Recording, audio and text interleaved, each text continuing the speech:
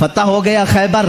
लेकिन उसका दरवाज़ा जो था, वो इतना भारी था कि चालीस सहाबा मिलकर उसे हिला रहे थे, हिल नहीं रहा था। चालीस सहाबा। मैं समझता हूँ उस वक्त के सहाबी की एक ताकत, एक सहाबी की ताकत आज के सौ बॉडी बिल्डर की ताकत होगी। उस जमाने के चालीस सहाबा खैबर के फाटक को हिला रहे थे, नहीं हिल रहा था। सबों ने फिर यही कहा, अली को अली को बुलाओ साहबा ने हज़रत अली को बुलाया, बुखार जदा है आशुब चश्म है, मरहब को अभी मार करके आया है।